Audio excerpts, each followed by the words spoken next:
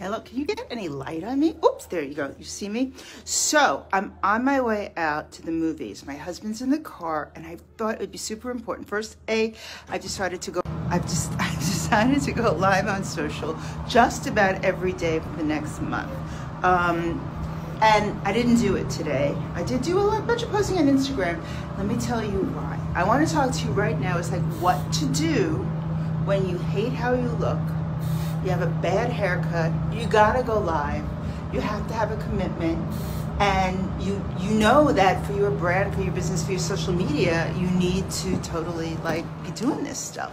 So here's what it is. Right now, you know, we've gone through my haircut with me the other day, and um, it all kind of went well until those layers came in. And I've been working a long time growing this stuff out, but right until those layers came in, it suddenly got short, like super short, kind of like Target lady short, right? I really feel like the Target lady. So here I am, and there's a taxi behind me. See that? So I'm getting in the car, I'm on live. Don't yell at me, we're going to the movies. So what happened was I got really Target lady short. I kind of was like freaked out. I'm like, what happened? I told you I was trying to grow my hair. How did it get so um, how do we put the light on here? How did it get so short? Oh, it's not that short. Um, yeah, I said below my shoulder where it was, and I'm growing my bangs out, and it's like chin length with bangs. Hmm. So there's not much I can do about it. So there's a few things to make me feel better for bad hair, and this is what you can do. You could try taking a lot of biotin, a lot of hair vitamins. Um, I'm gonna warn you that if you start taking a lot of biotin, it grows hair in other places. So you might need to get a home laser treatment. So you can take biotin, you can take anything, you can start eating more healthfully than foods that accelerate hair growth. You could start using different hair products that you start learning to work with your hair a little bit better, maybe in volumizer you haven't used in a couple of years or a, a mousse or something like that.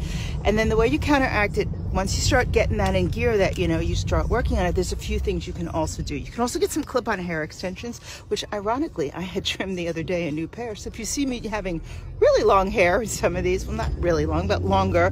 It's one of my extensions. Um, i sometimes use them. A lot of people use them for when you're doing video or tv because it adds fullness. If you're going outside it will fill it up a little bit so that will help you out.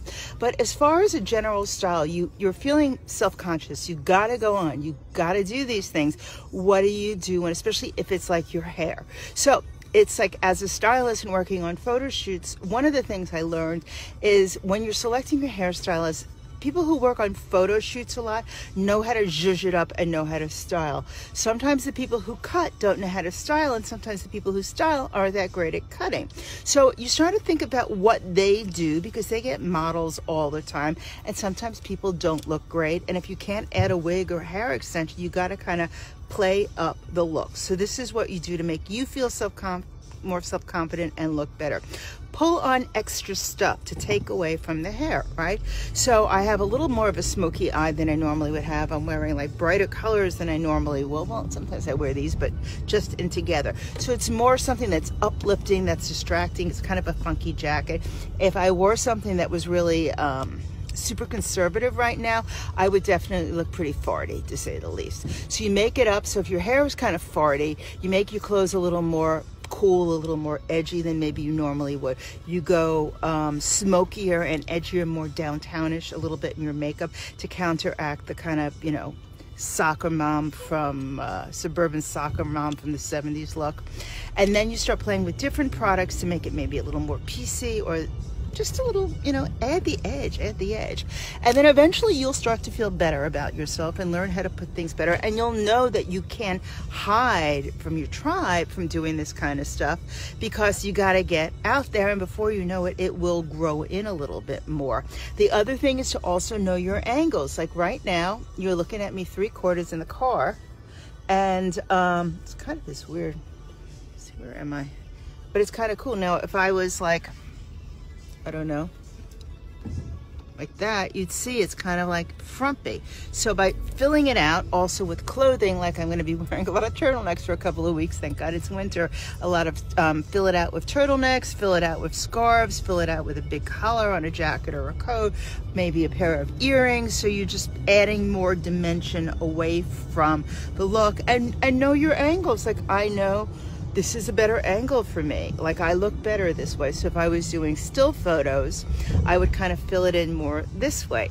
The other thing to do is, is keep moving, you know? So if you're not happy about your hair and you're not feeling really confident, I always tell you to bring your tribe with you, right? Go on the street and keep on walking. Get that air in your hair. If you're indoors, put a little fan on you so it gets a little movement and it looks less, you know, kind of frumpy and schlumpy. Movement always works. Fans are secrets on photo shoots for bad hair.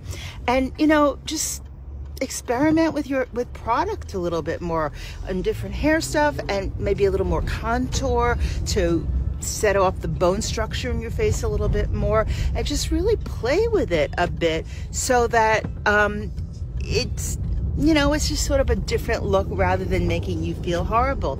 I'm going to confess, I was crying yesterday. I was like, holy crap. I have been growing my hair out for so long because I had bad highlights. I've been keeping it with low lights so that it would get healthy and not have peroxide in it and then it gets chopped off shorter than when I had blonde hair that went bad. Well, not blonde, but blonde highlights. So I did have a meltdown yesterday. And, you know, it's not just me, too. I know it's you guys also. We do a lot of advertising and um, I know that the videos and the pictures of me when my hair is shorter do not do as well as when my hair is fuller and better because this is not the first bad haircut I've ever had. And, you know, so it's true. It's the way people perceive you. Yep, I got to get out. I don't want to get run over. Hold on. So I don't want to see. There's no cars coming. Let me try to get out, show you where I am. He's going to park the car. See? Going to the movies. Whoop. So, you know, sometimes when people say, oh, it doesn't look so bad, oh, well, you know, if you think it looks like hell, it looks like hell to you. And that's going to chip away at your confidence no matter what. So you need to, let me get away from that line. So you need to really just do stuff for yourself that makes you feel better about it. You know, sure, like extensions are kind of cool if you're doing video or for special occasion, but the last thing I know I ever want to do, and I'm sure you don't want to do, is clip on extensions every day. But if it makes you feel better for something here and there, hey, add it in your toolkit a while. But you know, I don't know. Like sometimes people need to listen when you say just a dusting on the end. A dusting. A dusting in hairdresser terms means like just clean up the split end, shape it. So also when you say things like longer in the front, let's keep the angle longer in the front. And then he goes, oh, I rounded the corners. And you're like, rounding the corners. That's something else you don't want to do. When someone starts rounding corners on your hair, it's really time to head for the hills because it's a very dated look. You want to keep things longer and more ang angular going that way. And also, um, I just got another beep. And also more, um, having more movement in it. Even if it's straight, you kind of want to have like a longer layer or something in it that it looks better.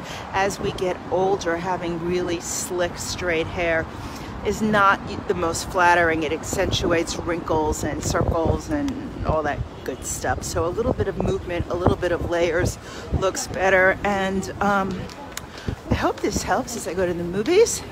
I'm uh, essentially where I am probably a better place to look. Oh, look, my hair is blowing. You don't even see it.